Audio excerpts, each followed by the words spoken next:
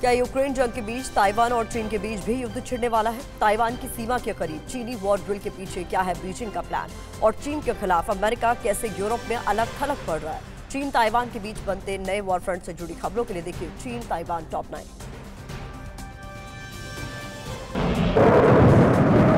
रूस यूक्रेन की तरह चीन और ताइवान में भी जंगी मोर्चा खुल सकता है।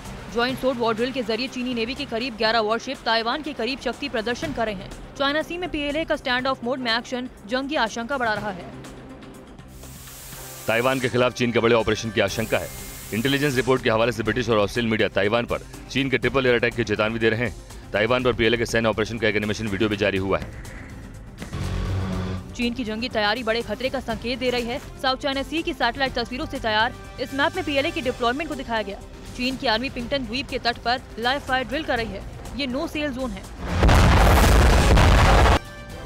चीन ने ताइवान में तबाही का ब्लूप्रिंट तैयार कर लिया है। वॉर ड्रिल के बहाने चीनी आर्मी की अचानक ताइवान में घुसपैठ बढ़ गई। पीएलए के 70 से ज़्यादा एयरक्राफ्ट ताइवान के बेहद करीब एक्शन में दिखाई दिए। दो दिनों में एक सौ इकतालीस चीनी जेट इंटरसेप्ट किए गए।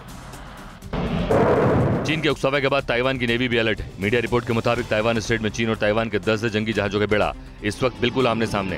ड्रिल के ज़रिए पीएलए, मॉक मिसाइल अटैक को भी अंजाम दे रही।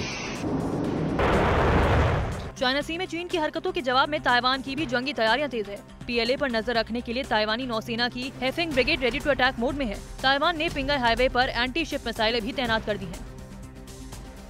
ताइवान से तनाव को लेकर अमेरिका ने चीन को बड़ी चेतावनी दी है। अमेरिकी सांसद माइकल बैकन ने कहा है कि अगर ताइवान पर हमला हुआ तो अमेरिका और चीन के बीच सीधा युद्ध होगा। इसके साथ उन्होंने कहा कि ज़रूरत पड़ने पर अमेरिका ताइवान में अपनी सेना को भेजने के लिए तैयार है।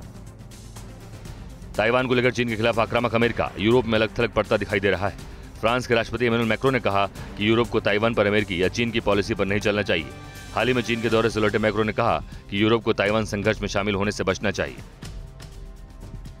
ताइवान टेंशन के बीच अमेरिका की चीन पर दो तरफा दबाव बनाने की योजना है। यूएस आर्मी भारत के साथ फ्रंट लाइन वॉर्डल करने जा रही है। इसमें फाइटर एयरक्राफ्ट सपोर्ट ऑपरेशन भी शामिल है। इस डील के दौरान America F fifteen strike eagle से शक्ति प्रदर्शन करेगा।